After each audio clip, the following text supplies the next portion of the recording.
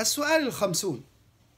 إذا أحست المرأة بألم الحيض أو تحرك الدم في بطنها ولكنه لم يخرج قبل الغروب هي أحست به ولم يخرج فهل صيام ذلك اليوم صحيح أم أنه يجب عليها القضاء؟ نقول وبالله التوفيق. إذا أحست المرأة بألم العادة للدورة الشهرية أو تحرك الحيض في بطنها ولكنه لم يخرج إلا بعد غروب الشمس فإن صومها ذلك اليوم صحيح وليس عليها إعادته لكن صومها صحيح.